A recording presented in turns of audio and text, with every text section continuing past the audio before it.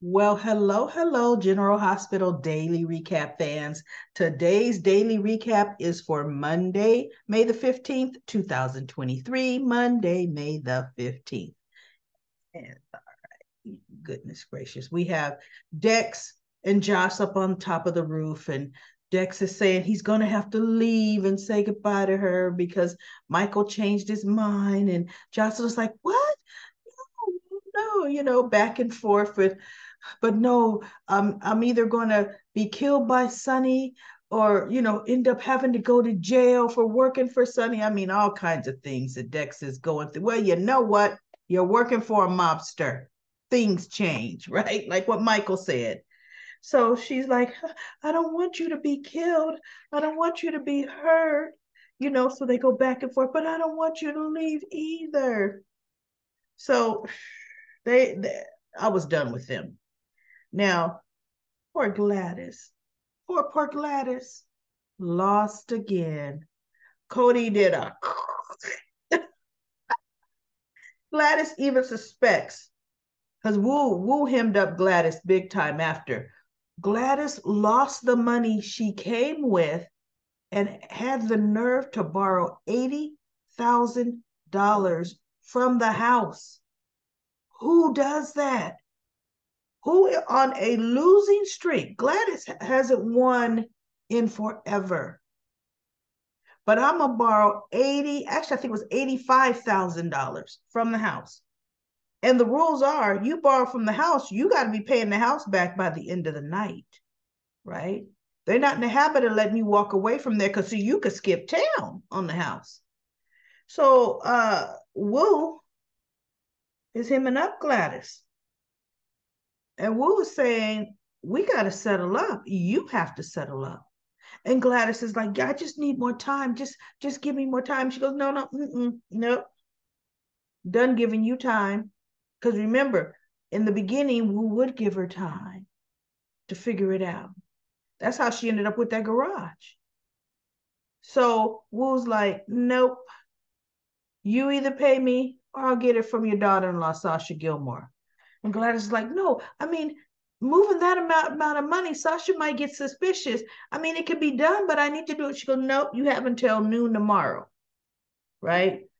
And so Gladys is, she's like worried about, oh no, like, what, what am I going to do? So she's trying to slink away from Wu. And uh Cody, Cody her, and boy, is he egging her on. Another losing night, I see. Hmm. And she goes, Yeah, you probably cheat. He goes, No, you're just horrible at poker. Horrible. I told her, Hey, you continue to come in and lose. So Cody's just mm, smugly walks away from her because he's like, Yeah, you in big trouble now. But now, how's he going to keep track of Sasha's money? He knows, well, for one, Gladys came in on her little salary from Sasha, I think. but now the 85 grand that she didn't have in her purse when she came in, she's going to have to figure out how to get. So Sasha appears on the set with Lucy First time we're seeing Lucy. I'm coughing now, everybody. First time we see Lucy, and you know what? As soon as I saw her, I started shaking my head. Lucy Coe. you put everybody in jeopardy. Probably hasn't apologized to nobody. Don't care. Lucy's never cared. So Sasha, you know, she's like, Are you sure, Sasha? Are you sure? And Sasha's like, Yeah, I have this, you know. So Sasha's, you know, talking to Haven, and Haven's like, Well, welcome back, Sasha Gilmore, you know, although she's already been secretly talking to the producer because she goes, First, Haven comes up, I refuse to work with you. Who let you in? Who who and she goes, uh, Are you a producer? Brook Lynn says. And so the producer talks to Haven and he's like, we haven't had network uh, uh, ratings like we did when she was on the show last time. So what's good for ratings is good for us. And Haven's like, hmm, okay, well, we got to orchestrate another little breakdown, right? Little meltdown on the stage. So we've got still Scott. He's at the Savoy trying to drown his tears, and boy, Lisa, Lisa won't take him back. Cody comes up and says, I need you to represent me. Can I hire you? And he goes, Shh, you don't, you don't have enough money. He goes, I have $25,000. And he goes, that ain't no small potatoes, you small fish. So Scott ends up talking to, was it Felicia? He ends up talking to maybe Felicia and Mac. Yeah, he goes over to the table with Felicia and Mac. And they were talking about how the Ice Princess, it, the WSB, when they blew up the boat, is presumably they blew up that Ice Princess too. And Scott is like, well, that was Dominique's and that was worth millions. And Mac goes, yep, yeah, but you know what? It's gone now. So Scott gets this bright idea. Hmm. He looks over at Cody, and I'm like, okay, now what would you want from Cody now? I mean, I didn't understand quite what why Scott decides, hey, gonna go cozy up to Cody, right? So so he does. Um, and Cody's wondering why you cozying up to me right now, too. Now we have Nina cornering Drew at GH, begging Drew, please, I just want a relationship with my daughter. I mean, perhaps you could put in a, a good word. Perhaps you could help. Like, whoa, whoa, whoa. That's my dog Oliver. And then he goes, perhaps, you know, you could you could convince Carly. And, and Drew's like, you know what, Nina? for one thing,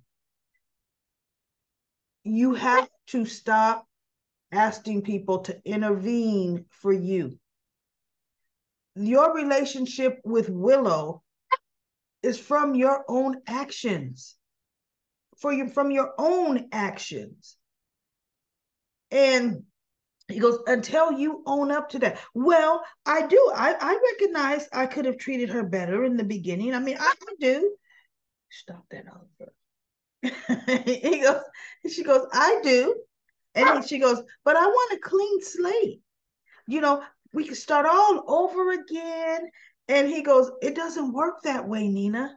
There are no quick fixes. Come here, Oliver. Get your Come on. This, everybody, is Oliver. He is the barker right now. Stop your barking. So yeah, he's going to be 15 in November. So we'll see if he makes it to his 15th birthday. Because you know, the life expectancy of a Yorkie is anywhere between 13 and 15 years. So he and my Kara, who you haven't been hearing coughing as much, um, they're kind of on the long end of the lifespan. But anyway, back to GH. You know, my little canine family, back to GH. So he says, Nina, put in the work. Instead of asking other people for a quick fix, if you put in the work with Willow, meaning respect her wishes, just show through little things, and she will see that there's value in a relationship with you. But if you keep going around asking people to intervene to go against what Willow has said, it'll never happen. You know, yes, you can make amends. I mean, you can make amends to Carly. Carly could, you know, assist in some manner she may choose to or not choose to. But Nina, you blame her for things that you did. You blame it all on her you know, and if you had a sincere apology, people will start to see that. You know, if you could be sincere. So she's like, and Drew says, and that's all I have to say. Bottom line, this is on you to work out. So he leaves her there and she's thinking, ah, what? What is he doing? Huh? What, what am I supposed to, you know, what am I supposed to do? So we have Michael Michael, you know, him and Sonny are talking. And Michael tells, I mean, Michael tells Sonny he wants uh, to just broker peace. You know, and Sonny's like, Well, what brings you to this revelation? And he goes, Willow. Willow is the one who got me to see that staying on this path path is going to divide the family. You know, Chrissy, it's already started with Chrissy. You know, Joss and I are okay because they on the same page. He says, but Ava and Donna, Ava and Avery and Donna, they would feel they would have to choose, and that is not fair to them. So, for the interest of my family, for the interest of my sisters, I will broke. I I will want to bury the hatchet and, and broker peace with you. And Sonny says, I thought eventually you would come around because after you won custody of Avery, you eventually gave her back to me because you did not want to come between us. So I thought in time you would come around. And Michael said, Well, Willow helped a lot with that. Thanks to Willow, right? And so Sonny says, okay, well, now you talked about your siblings. What does that mean for Wiley and Amelia? And Michael said, I am not going to stand in the way. My children should know their grandfather. I'm not going to stand in the way of that. So Sonny's like, okay, good, good. And then, of course, you knew Sonny had to go there. He says, And what about Nina? And Michael just looked at him. Michael says, Nina is up to Willow, not me. Whatever Willow decides she wants, whatever relationship she wants with Nina, or whatever relationship she doesn't want with Nina that's up to to to uh, Willow. And so he, uh, Michael tells Sonny, and I would like for you not to try to to to go around and advocate for Nina. You know, every chance you got, get to Willow, because it's Willow's decision.